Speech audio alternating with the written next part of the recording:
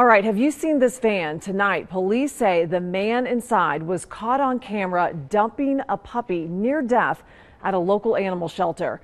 You're looking live at the Humane Society of Preble County. Police say the man live? abandoned the dog last Friday and he died last night, sadly. Humane officials say the pup they call Prince Charming had a severe case of mange. Isn't that so hard to look at?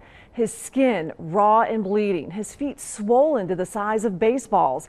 Elise Coulter shows us how an outraged community is now coming together to find the person responsible. She is live in Preble County tonight. Elise.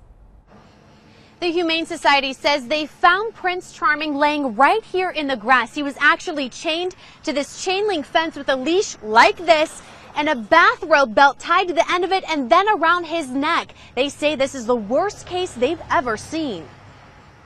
He didn't look like a dog to me um, when I seen him. Tiffany Kreider spent two days with the puppy they named Prince Charming. Wanted to call him Prince Charming because we knew once he came out of this, he'd be the most handsome dog ever. Kreider took these photos of Charming Saturday. The first time I got him to look up at me, he could barely open his eyes, but they were there. He still had a little spirit left in him. She helped bathe him and get him ready for a treatment they hoped to give him this morning to get rid of the mange. But sadly, Prince Charming didn't make it. By the time it came to us, it was already in, in organ failure. So the way I see it, we basically gave him comfort for the last night or two that he had.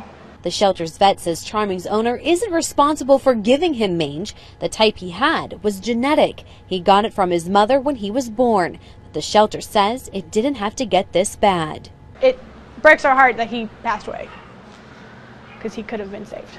The only way for the shelter to find out exactly what happened is to find the man in this surveillance video. He walks Charming to the fence, sets down a bowl of water, and then gets into this blue minivan. Kreider is hoping Charming's story will help someone else make the right decision.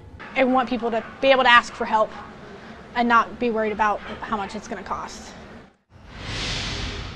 A reward fund is expected to be coming up here at a local bank in the uh, incoming days. But for the time being, if you wanted to donate to help other dogs or donate to help find the man who did this, you can do that by coming here to the Humane Society Pet Center in Preble County and leave donations here. For now, reporting live in Eaton, Elise Coulter, Fox45Now.com. It certainly didn't have to get that bad. Well, Eaton police are now pursuing this as a criminal case. Animal cruelty is a second degree misdemeanor in the state of Ohio. Anyone convicted faces up to three months in jail and a $750 fine.